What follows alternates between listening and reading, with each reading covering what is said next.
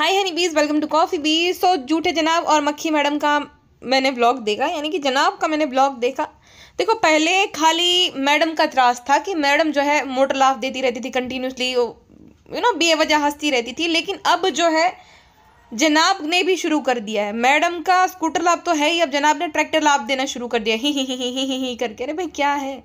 इतना बेवजह कौन हंसता है? वो एक कहावत है ना तुम यू जो इतना मुस्कुरा रहे हो क्या गम है जिसको छुपा रहे हो है ना कि भाई इतना बेवजह कौन हंसता है मैंने मक्खी मैडम से ज़्यादा बेवजह हंसने वाला किसी को नहीं देखा मतलब इतना बिना किसी बात के जनाब पानी पी रहे बच्चा खेल रहे बच्चा इधर देख रहा है बच्चा वो करे शर्मिली जल्दी रहा पिज़्ज़ा को बाहर लेके गई पानी पी रहे खाने खाने बैठ जाओ रेसिपी खराब होगी। कंगी नहीं करी। दस दिन से नहीं नई। क्या है लेकिन? गाइस जनाब को कुछ जनाब के पास कंटेंट ही नहीं था तो मैं खाना खा रही थी, उसका भी कंटेंट बना लिया। जनाब बिना जनाब बिना, बहुत प्यारे है। सॉरी गर्ल फेसबुक अच्छा हाँ टाटू नहीं है ना तो पूरे परिवार का जो हम साथ साथ वाली चीज़ है ना, वो शुरू हो गई। पिज़्ज़ा नान, वहाँ पे जाते हैं फिर नान तो पहले भी ज़्यादा था जनाब के साथ। मैडम नीचे आ रही है, मैडम नीचे आ रही है, शर्मिली जी के साथ जो है भाई फ़ोटो वोटो भी खिंचवा रहे हैं। तो हम साथ साथ शुरू हो गया। टाटू नाला टिक जाए थोड़े जो अपने ससुराल पे। टाटू भाई टिकने वाले इंसानों में सही है वहाँ ससुराल में भी एक दिन घर पर नहीं टिकती है। टाटू को चैलेंज करना चाहिए ट्वेंटी फोर आवर्स जो है घर पर रहने का। फ्रेंड्सू ऐसी बात नहीं, आपको तो पता है कि गुटकू का बिज़नेस मुंबई में है तो आना पड़ता है फ्रेंड्सू समझा करिए।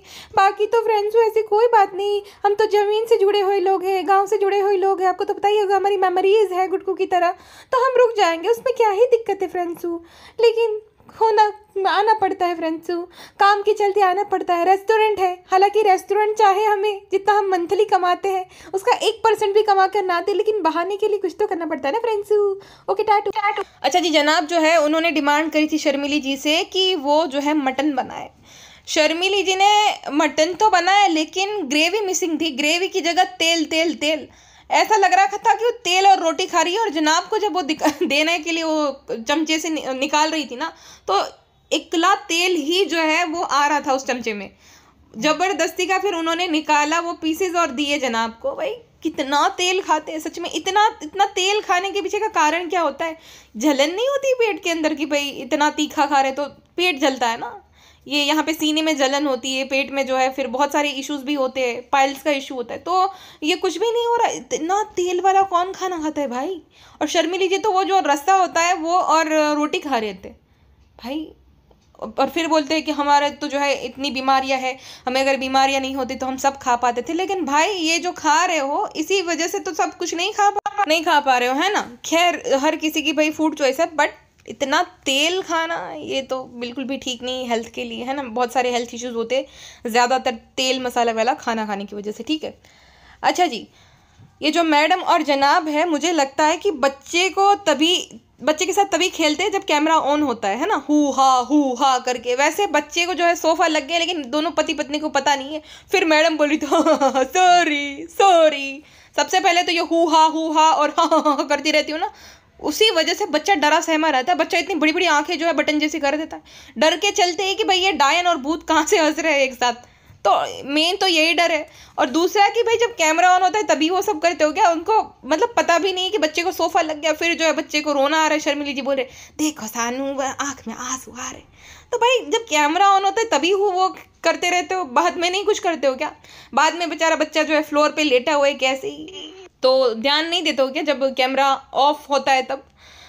अच्छा जी, उसके बाद जना बोलते हैं कि गाइस पता नहीं कैसे पूरा रमदान बीत गया, पता नहीं जल्दी चला गया, कल ही तो वहाँ गया था, कल ही तो वो किया था। भाई, तुम्हारा मुझे लगता है रमदान सोते सोते निकल गया क्योंकि जितना तुम बोलते हो ना कि अलसबन में था, ये था, वो था। तो सोते सोते ही निकल गया आराम करने में। तुम्हारी बॉडी को रिलैक्सेशन की ज़रूरत थी ना, जैसे कि मैडम बोलते थे कि बहुत बहुत बहुत ज़्यादा आपकी बॉडी को ज़रूरत है, क्योंकि आप थक गए हो। आपको रेस्ट की ज़रूरत है बॉडी को, आपकी रेस्ट रेस्ट की ज़रूरत है। तो रेस्ट में ही शायद निकल गया। दूसरा, शर्मिली जी जो बोल रही थी कि पता नहीं चला कैसे गया, उनको तो बहुत ज़्यादा अच्छे तरीके से पता चला है। एक दिन ऐसा नहीं छोड़ा है जब उन्होंने नया सूट ना पहना हो। फिर वो लोग जो है प्रेयर करते कि वहाँ पे ये हो जाए, वहाँ पे वो हो जाए, दूसरे क्रिएटर का देख देख कर उनको कुछ लेना देना नहीं है। लेकिन खुद जो है ये सब चीज़ें प्रमोट करते। इतने सारे कमेंट मैं देखती हूँ उनके ब्लॉग के नीचे, जहाँ पर लेडीज़ जो है वो शिकायत करती रहती है कि आप तो ये दिखावा कर रहे हो, लेकिन हमारे पास तो त्यौहार में पहनने के लिए नए कपड़े भी नहीं है तो ये सब चीज़ें ना किया करो। लेकिन ये नहीं करेंगे तो बताएँगे क्या, दिखाएँगे क्या? तीन चीज़ें हैं, खाना खाना खाना। पूरे मंथ में उन्होंने क्या दिखाया? गुलगुले, शरबत ये फ्रूट्स वगैरह कटे हुए वो, और जनाब जो है, वो जो, वो थर्मस की थाल प्लेट रहती है, उसमें एक जगह से दूसरी जगह शिफ्ट कर रहे हैं। तो वही सब उन्होंने दिखाया, है ना? है ना और जनाब ने तो खैर इस बार ज़्यादा इतने ब्लॉग्स नहीं बनाए। मैडम जी गायब हो गई है। मैडम जी जो है कहीं गायब ही हो गई है। जब से लोगों ने क्वेश्चन पूछना शुरू किया कि मैडम जी नमाज़ क्यों नहीं पढ़ते, मैडम जी गायब हो गई। मैंने बोला था ना कि ये ये जो फेक मुस्लिम है जो खाली दुपट्टा ओढ़कर मुस्लिम बनी है तो ये ये भाग जाएगी। क्योंकि ये किसी की, की सगी नहीं है बात वो नहीं है भाई हर किसी की मर्ज़ी जो करे वो। बट वो जो बेवकूफ़ बनाती है वो भोली भाली से ऑडियंस को कि भाई तीन चार उर्दू वर्ड बोल कर तो ये ठीक नहीं है ना। तीन चार उर्दू वर्ड तो मैं भी बोल दूँ है। बहुत रोना आता है क्योंकि हमें इतना ज़्यादा नवाजा है जितना तो क्या क्या वो वर्ड था भारी सा?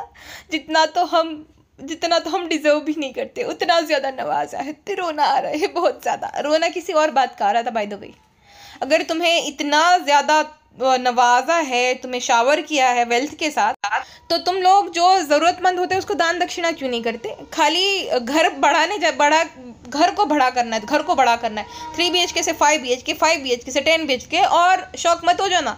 अगर पूरी बिल्डिंग जो पूरा फ्लोर है, या तो पूरी बिल्डिंग ही है, जो टावर होता है ना अलग अलग टावर वो टावर पूरा बुक कर ले एक दिन जना तो शौक मत होना। अब रहना उसमें तीन जने को है खाली। पापा जी, ये, मैडम जी, जनाब। लेकिन पूरा वो टावर भी बुक कर ले तो शौक ना होना, क्योंकि वही है कि पैसा रखे तो रखे कहाँ भाई? कन्फ्यूज़न है। मैडम जनाब में क्या है ज़्यादा कि दिखावा उनका थोड़ा ज़्यादा ही रहता। टाटू जो है उनकी इन्वेस्टमेंट देख लो टाटू की। बहुत स्मार्ट इन्वेस्टमेंट है अगर देखा जाए तो। अब देखो रसगुल्ली को हम भालू अपी या डब्बा बोलते, डब्बा है नहीं वो। जब से गुटका किंग आया ना भाई, गुटका किंग ने बहुत स्मार्ट इन्वेस्टमेंट करवाई उसकी। गाँव में ज़मीन ले ली, वो भी रोड पर। प्लस जो है मी, आ, मीरा रोड या तो दहीसर हाईवे है ना वहाँ पे वो जो टावर है ना डेल्टा वो सस्ते में नहीं आता वो कॉस्ट किया होगा उसको टू बी के लगभग वन सेवेंटी फाइव तक one crore and seventy five lakhs ठीक है? तो अगर इन फ्यूचर कुछ ऐसा होता है ब्लॉगिंग बंद होती है या तो यूट्यूब बैन हो जाता है तो उसको प्रॉब्लम नहीं रहेगी रेंट तो आएगा ही। प्लस गुटकू ने अपना बिज़नेस भी शुरू कर लिया प्लस यहाँ पे भी वो जो है रेस्टोरेंट वगैरह ओपन कर रहे शुरू शुरू में ना क्या होता है कि शुरू शुरू में तो बहुत ज़्यादा फेम मिलेगी रेस्टोरेंट को, क्योंकि भाई सब लोगों को ऐसा लगेगा कि वहाँ पे काउंटर पे गुटकू बैठा था तो सब लोग खाली फ़ोटो खिंचवाने के लिए या तो हम स्टोरी लगाने के लिए, है ना, कि मैं जो है रसगुल्ली के रेस्टोरेंट में गया था। ऐसा दिखाने के लिए वहाँ पे जाएँगे। बट जैसे जैसे अगर टेस्ट नहीं होगा तो टिक नहीं पाता, है ना? At the end of the day test चाहिए। कितने ही फैंस कितनी ही बार आएँगे सेल्फी लेने सेल्फी खिंचवाने। बार बार नहीं आएँगे, हर रोज़ थोड़ी आएँगे। टेस्ट होगा तो ही टिक पाता है ना रेस्टोरेंट वगैरह। तो ये है, लेकिन इन्वेस्टमेंट उसकी स्मार्ट है, जहाँ पे मैडम और जनाब को देखा जाए, जनाब और मैडम जो है ना, घर भरते जा रहे हैं। कुछ भी हो, भाई, लाखों का ले आर्टिफिशियल प्लांट उसने एक लाख रुपये तक तो आर्टिफिशियल प्लांट मंगाए थे, सोचो। और नया नया सामान भरते जाओ प्लस रिनोवेशन करवाओ। साल में दो तीन बार तो ये लोग रिनोवेशन ही करवा देते हैं कि ऐसा नहीं ऐसा नहीं अच्छा लगा, वैसा नहीं अच्छा। क्योंकि इनके केस में क्या होता है ना, इनको हर एक चीज़ के लिए चाहिए होता है स्पॉन्सर हर एक चीज़ के लिए इनको स्पॉन्सर चाहिए होता है। होता है। और भाई देखो मुफ़्त में तो ऐसा ही मिलता है। और मुफ़्त में मिलता है उस पर भी तुम्हें जो है रॉफ झाड़ना है कि उसने ये नहीं किया उसने वो नहीं किया। वो जो इंटीरियर डिज़ाइनर थी उस पर सॉरी टू से आने वाला था आया नहीं है ना? बोल रहे थे कि भाई मैं और जनाब दोनों बैठ कर बताएँगे कि क्या क्या सीन हुआ था। ये जो टैकी से इंटर इंटीरियर कराया उसने घर का उस, उसके रिगार्डिंग ही वो सॉरी टू से बनाने वाले थे। पहली बात तो जो ये इंटीरियर है उन्होंने कॉपी किया है राजकुमार राव के घर का। आधा अंकिता के जो है घर का इंटीरियर कॉपी कर लिए आधा राजकुमार राव के, है ना? ऐसा सेम टू सेम ये ब्लू जो वॉल जो भी कराई उसने, और राजकुमार राव के घर पे भी है सेम टू सेम अंकिता के घर पे भी जो है, वो जो वॉकिंग वार्ड्रोप वाला जो स्पेस है, जहाँ पे फोटोग्राफी वगैरह किया जा सकता है, वो अंकिता के घर का है। आधा मैडम जो है पिंट्रेस्ट वाली डिज़ाइनर है तो आधा पिंट्रेस्ट से कॉपी मार लिया। तो ऐसा ही नतीजा निकलेगा ना, जब मिक्स करोगे सब चीज़ें, खिचड़ी बनाओगी तो ऐसा ही बनेगा। अब उस पर उसको इंटीरियर डिज़ाइनर को लताड़ना है कि भाई, हम बताएँगे अच्छा जी, उसके बाद मोटर लाफिका जी, ध कैबिन क्रू से बेसिक प्रोनाउंसिएशन नहीं हो रही थी। जनाब बोल रहे थे कि हमें इस वाले जो है पेज से ये वाला अवार्ड मिला है। रियल कपल का, है ना? रियल कपल वाह real life couple real life couple इतने ज़्यादा रियल है, क्या बताऊँ उनके बारे में? अच्छा जी तो मैडम से ये बेसिक प्रोनाउंसिएशन नहीं हो रही थी। कैबिन क्रू है मैडम। कैबिन क्रू दो कैबिन क्रू उनसे बेसिक प्रोनाउंसिएशन नहीं हो रही है। देखो प्रोनाउंसिएशन नहीं हो रही, ये मैटर नहीं करता बट वो कैबिन क्रू थी ना तो उसमें तो फ्लुएंट इंग्लिश होनी चाहिए कैबिन क्रू अगर आप हो तो आपकी इंग्लिश फ्लुएंट होनी चाहिए तो कैसे नहीं आ रही है? बाकी इंग्लिश जो है, मैं ऐसा नहीं बोल रही हूँ कि भाई फ्लुएंट है तो ही तो ही आवेगा अच्छे इंसान हो, वगैरह वगैरह, नहीं। अभी देखो, ज़माने के हिसाब से तो आना चाहिए और एक लैंग्वेज आती है तो अच्छी बात है, उसमें कोई बुरी बात नहीं। बट अगर नहीं आती है तो उससे ना तो आप गवार साबित हो जाते हो, ना कुछ हो जाते हो, ना कुछ हो जाते हो। अगर आपके काम में इतना ज़्यादा ज़रूरी नहीं है तो ठीक है भाई, लेकिन सीखनी चाहिए मेरे हिसाब से। हमारे देश के प्रधानमंत्री जो है, नरेंद्र मोदी साहब, उनको नहीं आती इंग्लिश तो क्या वो गवार है? उन्होंने क्या क्या नहीं किया देश के लिए, है ना? बहुत कुछ किया है। वो अलग मैटर है पॉलिटिक्स का, वो नहीं पढ़ते। बट समझो आप, है ना? तो ऐसा नहीं होता, देश के प्रधानमंत्री है। और जो एकदम फ्लुएंट इंग्लिश स्पीकर है, वो बेरोजगार बैठा है। तो ये डिफरेंस होता है ना? अच्छा जी प्रोनाउंसिएशन को लेकर मुझे ना सुबह सुबह किसी ने गंदी गालियों वाला मैसेज भेजा था इंस्टाग्राम पे कि तुमसे तो ये बेसिक प्रोनाउंसिएशन नहीं होती, तुम छपरी निब्बी हो, निब्बी। और ये क्या? तेईस साल की निब्बी छपरी बच्ची, तुम तुम तो ऐसी बात करते हो, बुढ़ी अम्मा जैसे, लेकिन हो तुम निब्बी। तुम्हें डैश जगह पे बैठ जाना चाहिए। क्यों? तुमने वही उसी जगह पे तुम्हारी जो है जन्म हुआ था क्या? शायद उसी जगह पे है ना? मम्मी शायद रहती होगी। समझ सकती हूँ, समझ सकती हूँ तुम्हारी फ्रस्ट्रेशन वैसे तुमको मैंने ब्लॉक तो कर दिया, लेकिन सुनने ज़रूर आ गई तो सुन लो। है ना? चेकअप करा लेना अपनी मम्मी का। शायद से इन्फेक्टेड हो अभी भी। और तुम्हारा भी क्योंकि आगे की जनरेशन में भी इन्फेक्शन लग सक, लग सकता है ना? हो सकता है सब चीज़ें। तो चेकअप ज़रूर करवा लेना। अब देखो ये अगर मुझे हैरेस कर सकती तो मैं रिप्लाई भी ना दूँ क्या? बहुत सारे लोगों को ये इशू होता है कि ये ऐसी बातें करती है वैसी बातें करती देखो मेरी जेंसी भी ऑडियंस है जो कि मेरी एज की है तो उनको ऐसा बोरिंग सी चीज़ें नहीं अच्छी लगती ना। तो, तो मेरा मेरा तो मैं थोड़ा सा ट्विस्ट करके बोलती हूँ कुछ चीज़ें है ना? तो इसका मतलब यही नहीं कि कुछ गंदी बात है वगैरह वगैरह क्या है भाई? ना तो आप दिख रहे हो ना तो मैं दिख रही हूँ और उसमें गंदी बात मैंने क्या कर दी मुझे समझ नहीं आता। और इसी बात को लेकर वो जज करते हैं और जज ऐसे करते हैं ठीक है कोई अच्छे से समझाए मेरी एक सब्सक्राइबर जो है जो कि मेच्योर है और मुझे अच्छे से समझा रही थी कि प्लीज़ आप ऐसा मत करो तो मैंने बोला ठीक है दीदी मैं नहीं करूँगी ऐसा। लेकिन ये गाली से किसी को बताने का तुम डैश जगह पर बैठ जाओ ये ये क्या तरीका होता है? मतलब ये कोई लैंग्वेज होती है किसी से किसी को समझाने की किसी से बात करने की और ऐसे कोई समझ जाएगा आपकी बात? बात बिल्कुल भी नहीं समझेगा है ना? चलिए जी जाने दो ऐसे लोगों को। अच्छा जी तो अवार्ड मिला था रियल लाइफ कपल के लिए जनाब और मैडम को है ना? रियल लाइफ कपल बहुत ज़्यादा रियलिटी दिखती है इनके ब्लॉग में।